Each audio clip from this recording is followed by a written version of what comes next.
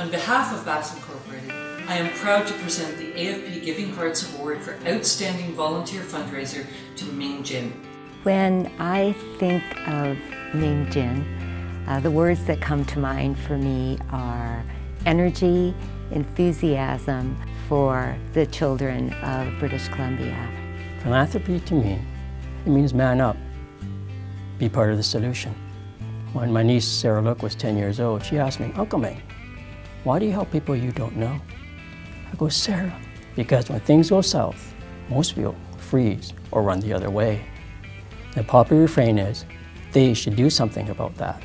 Ming has been involved with BC Children's Hospital Foundation for 30 years, and over those 30 years, he has put in 18,000 volunteer hours. And Ming is known for, and what will always be his legacy, is establishing Child Run. Last year, 7,000 people participated in that run. It's not about yourself. It's not about people you know.